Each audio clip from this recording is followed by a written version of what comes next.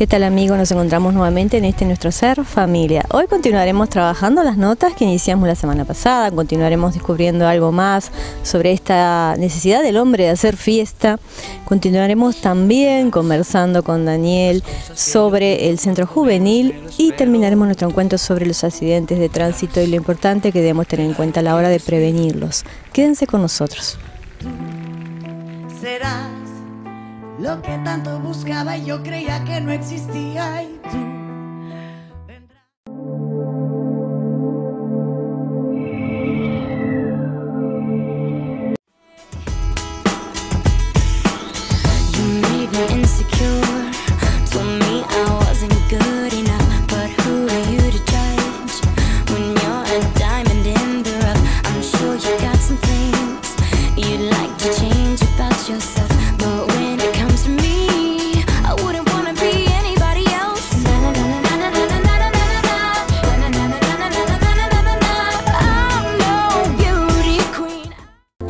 En AM Congelados encontrará toda la línea de helados Cruffy y una amplia gama de productos congelados.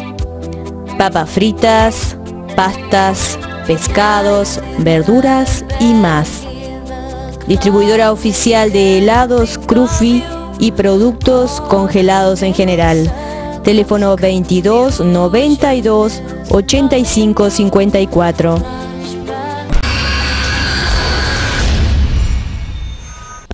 Con el padre Fabián continuamos hoy descubriendo la riqueza del ser humano y la necesidad que tiene en sí de hacer fiesta, de celebrar la vida. Estaremos viendo sobre diferentes formas de celebrar, que estén un poquito más de acuerdo a las costumbres que cada persona tiene y también a sus creencias. También el tener en cuenta, el observar cuáles son los mensajes que le damos a nuestros niños en las diferentes actividades del diario vivir para lograr que tengan una personalidad sana para que estén formados de acuerdo a lo que nosotros consideramos valioso.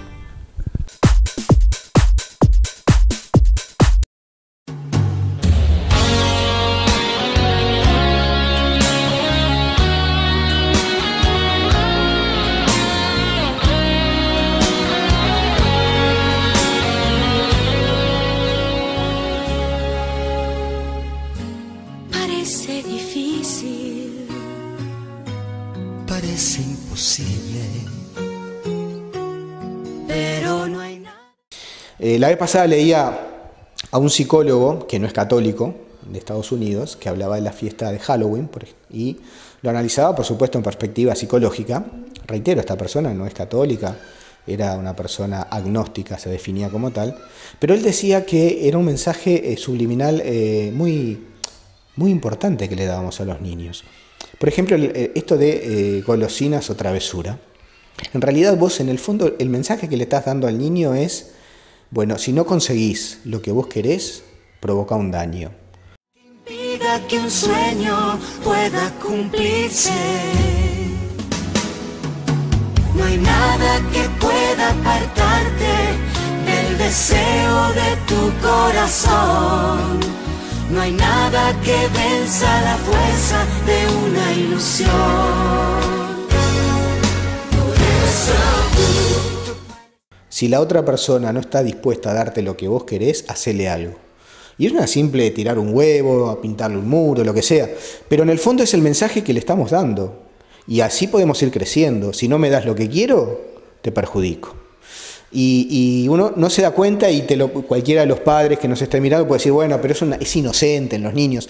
Pero ¿cuál es el mensaje? Porque si después en casa nosotros le decimos que tenés que ser bueno, que tenés que ser comprensivo, que tenés que ser solidario, llega este momento, me lo disfrazo de bruja, me lo disfrazo de no sé de qué, lo mando a la calle y decirle, bueno, si no te dan caramelo, tirale un huevo en la puerta. Entonces, hay una contradicción. ¿Sí? Hay una, una separación entre lo que comúnmente quiero enseñarle y lo que le ofrezco o lo que le propongo vivir en este día. aquello que tú quieras ser. Tú puedes ser el sueño que soñaste ayer.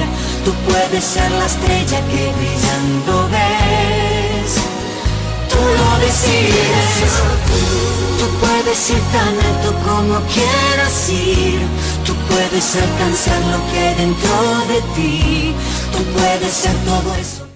Y reitero, a simple vista puede sonar como una inocentada, pero es un mensaje, como decía este profesional, este psicólogo, que va como calando en ellos. Bueno, Te, me das caramelos y sigo de largo. Y si no me das caramelos, pagas las consecuencias. Mañana es, me das lo que quiero, te dejo tranquilo. Si no me das lo que quiero, vas a pagar las consecuencias.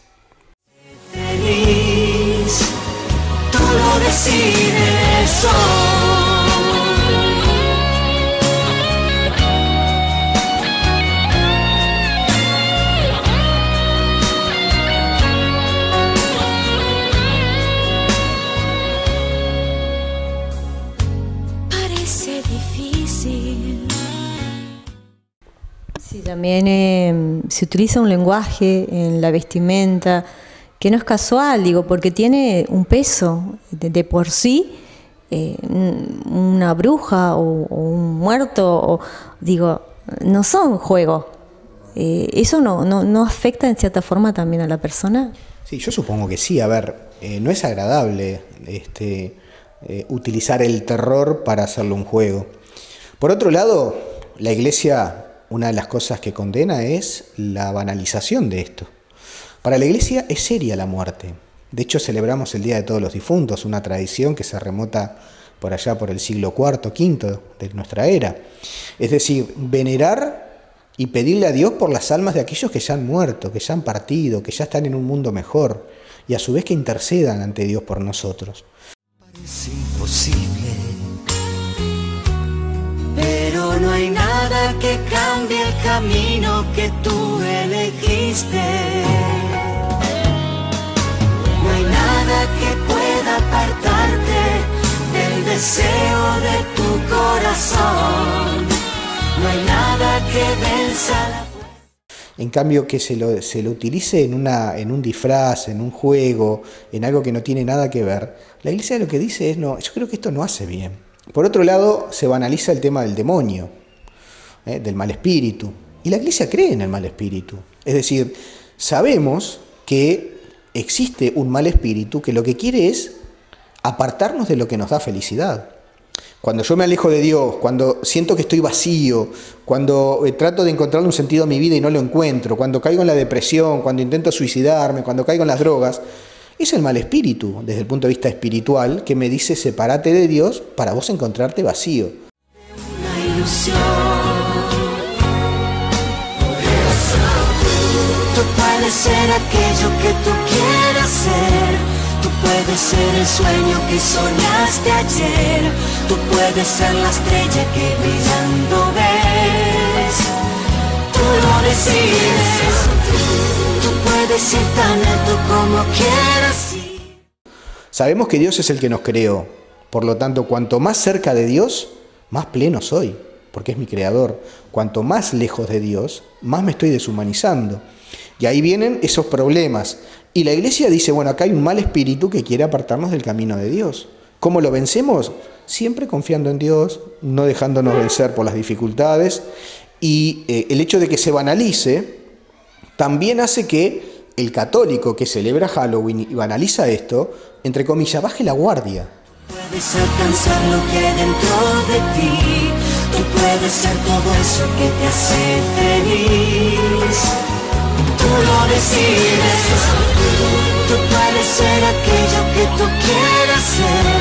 Tú puedes ser el sueño que soñaste ayer. Tú puedes ser la estrella que brillando ves. Entonces, bueno, está. Una de las estrategias, dicen los que saben, que tiene el mal espíritu, es hacer creer que no existe. Entonces, cuando vos te convences que no existe, bajaste la guardia. Y ahí se te mete. Pero no porque, a ver, no como en las películas, no, es no hay que hacer un exorcismo. Se te mete y te va quitando las ganas de vivir, te va quitando las ganas de seguir adelante, las fuerzas, las dificultades pueden más que vos, te sentís agobiado, sentís que muchas veces lo tenés todo, pero te falta todo. Eso, es, eso como que va carcomiendo. Tú puedes ir tan alto como quieras ir. Tú puedes alcanzar lo que hay dentro de ti. Tú puedes ser todo eso que te hace feliz. Tú lo decides.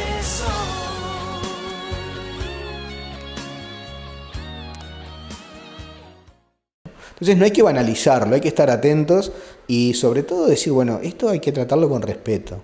Eso es una de las cosas que yo veo como, como dificultad también en Halloween, como un mensaje que le estamos pasando a nuestros niños que va en este sentido. Por un lado, si no me das lo que te pido, te perjudico, y por otro lado, bueno, esto es una cosa, una pavada y en realidad es algo importante.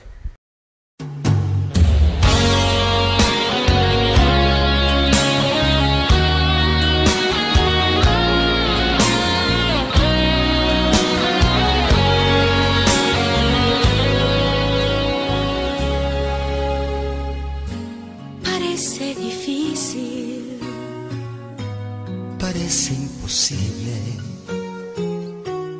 pero no hay nada que impida que un sueño pueda cumplirse. No hay nada que pueda apartarte